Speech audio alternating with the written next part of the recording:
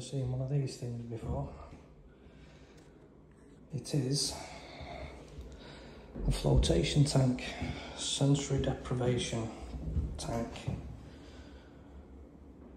That's water with a ton of Epsom salts dissolved in it. So, turn the lights off and things in it. So, all the lights changing it and stuff. Uh, or you can turn off completely and just have it completely black and floating it like the Dead Sea. And that's what I tend to do is turn everything off.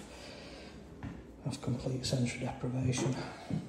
Shower before and shower after because obviously you're covered in Epsom salts. But yeah, absolutely amazing. Whew. So we've just finished our float flotation thing, haven't we? That's mm-hmm, that's my daughter in the background who paid for it for me for Father's Day.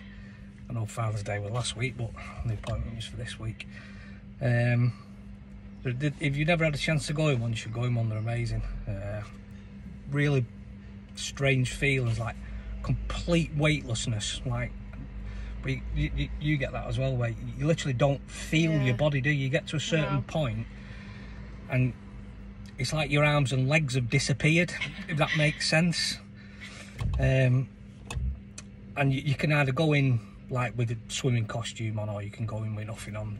I go in with nothing on because then it's like you complete You've got nothing touching you then. It's complete like sensory deprivation. And they give you like earplugs if you want to put them in and um, they give you like a flotation thing if you want to put behind your head if you're not confident with your head like i mean you don't go under. You literally It's like the Dead Sea. yeah, it? it's literally is like the Dead Sea, and there's uh, what is there, a ton of Epsom salts in it, Yeah. in, in just in e- each one of them. So for like te- ten minutes before, you have like this dead relaxing music playing, um, and then it, it that turns off, and you can either keep the like the little LED light on, or you, you can turn it off. You have full control of it. Uh, there's a, an emergency switch on the inside as well if you to, you know, contact them for anything.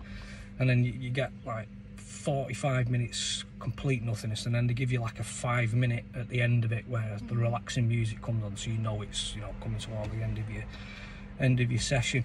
You've got total control inside the. Uh, the, the flotation tank as well, so it's it, that you you operate it from the inside, so it's not locking you. You know, it's on like a, a hydraulic lifters like you have on the trunk a bonnet of your car, so you can lift it up.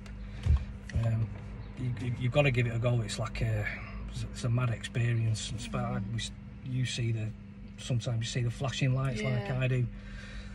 I, I meditate anyway, um, so it's kind of a, I, I meditate when I'm in there as well, but I meditate when I'm not in there. That makes sense. Kind of a different experience, but that floating, it's like it's, it's hard to explain. You can't explain it to someone unless you do it. no, It's, you got to do it. yeah, just it's like you, like you don't exist for a Yeah, for, for an hour. for, for an hour, innit? It's Yeah, yeah. bizarre, absolutely. Oh, and you can hear your own heart beating, like in in your. So that's about the only thing you get to sense is your own heart beating. And the only place I've ever heard that before is in a super tight squeeze in a cave where it's pushing against my chest and my back. And if I relax for a couple of minutes going through the squeeze and don't move, you can hear your heart, your own heart beating, like bouncing back from the rock type of thing. So only place, the only two places I've heard it is in a flotation tank and in this. Anyway, go and give it a go. They're awesome. Thank you, Shawnee.